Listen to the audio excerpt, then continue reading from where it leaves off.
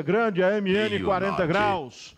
A Polícia Civil do Piauí, através do DENARC, Departamento Estadual de Combate ao Narcotráfico, com apoio da Polícia Civil de Brasília, eles deflagraram uma operação onde várias pessoas, se eu conseguisse ler rápido como o menino está passando esse texto aí, eu ia ser um crânio, um gênio, um crânio. Eles prenderam várias pessoas acusadas de venderem drogas sintéticas, alucinógenas, deixaram o cara bilobado, que eram vendidas por um empresário aqui de Teresina. O traficante conhecido como Rei da Keila foi preso durante a investigação. Felipe Reis tem os detalhes aqui na tela do nosso MN 40 graus, graus, graus.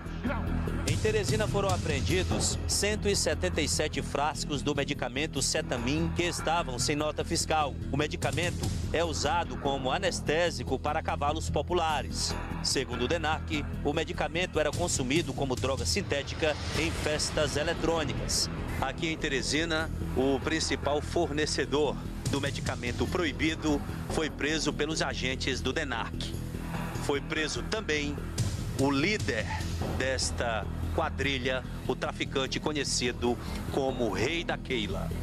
O líder do bando criminoso foi preso em um flat na cidade de Águas Claras, no Distrito Federal, local onde foram apreendidos entorpecentes. É um medicamento de uso controlado, ou seja, ele exige a retenção de receita. Então, essa venda ela era feita realmente de maneira clandestina. Ela era encaminhada lá para esse indivíduo que foi preso hoje em Brasília, porque é uma operação que foi deflagrada simultaneamente aqui no Piauí, em Brasília e em várias cidades também de Goiás. Hoje foi preso esse grande traficante lá em Brasília e o indivíduo aqui, o proprietário da loja, que a loja é que encaminhava esses medicamentos lá para Brasília. Ele efetivava a compra aqui e essa compra era vendida de maneira irregular. As notas fiscais eram camufladas, então não era, a informação não estava lá constante desse medicamento, a cetamina, porque se fosse, tinha que ter a receita. Então era vendido de forma realmente irregular, era camuflada as notas fiscais, colocando outros medicamentos que não exigem o controle especial e era encaminhado lá para Brasília através de empresas de ônibus, onde havia participação também de um funcionário da empresa, o qual foi preso hoje também em Brasília. Esse medicamento, ele aumenta, pode causar morte, inclusive, em quem usa sem uma prescrição médica. Pode causar pressão alta, aumentar os batimentos cardíacos do seu coração. É um medicamento alucinógeno.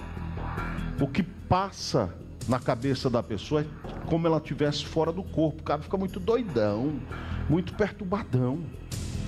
E aí eles descobrem, não sei como descobrem o efeito de um medicamento desse, é utilizando, né? Vamos testar isso bem aqui, ver como é que fica, ver se é bom. Aí o que causa alucinação, opa, esse aqui é que é o bom, vamos começar a vender, vamos começar a distribuir para o povo, vamos ensinar o povo como é que vai ser usado esse medicamento nessas festas raves, os caras usavam muito, aí começava a ficar muito doido e muita gente morria, não se sabia por quê. Quando ia puxar lá no exame no IML, descobria que o cara tinha feito uso desse medicamento. Esse medicamento perigosíssimo. Agora, se os caras querem morrer, querem se matar, né? Problema de quem está comprando também. Eu não me preocupo muito com isso, não. Obviamente que tem que dar um basta nisso, saber de onde é a fonte, quem é que distribui para poder cortar o mal pela raiz, porque dessa maneira não dá certo.